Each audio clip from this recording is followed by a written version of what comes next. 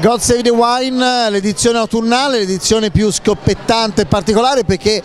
ci racconterà cosa berremo nei prossimi vini e soprattutto è, è, autunno, si vendemmia, si è iniziato, siamo nel mezzo, si finirà e quindi la prima preoccupazione, noi che siamo persone previdenti, pensiamo a quello che berremo nei prossimi anni. Quindi Sergio, come sta andando la vendemmia al Cellese? Eh, la vendemmia al Cellese penso come in tanti altri posti è una vendemmia molto speciale quest'anno, abbiamo un'uva fantastica, stiamo vendemmiando molto tranquillamente perché il tempo non, dà, non, è, un, non è un problema, abbiamo le prossime due settimane con sole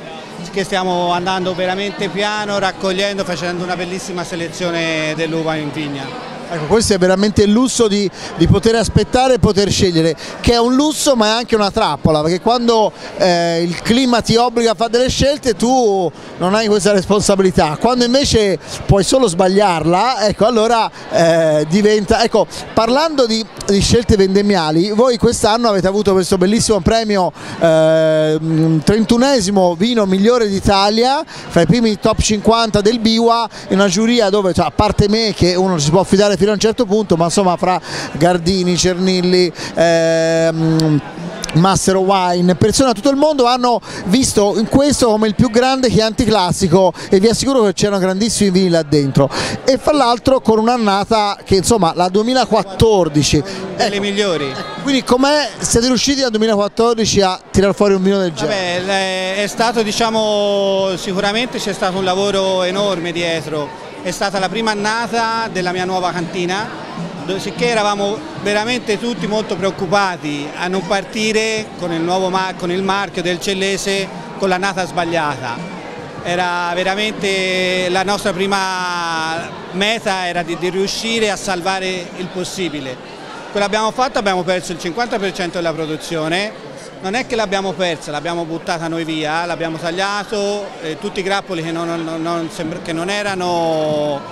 quelli giusti l'abbiamo tagliati tranquillamente, buttati via. Tranquillità. Ecco. Era l'unica soluzione, essendo un'azienda un molto piccola o portiamo qualità o non avremo un futuro.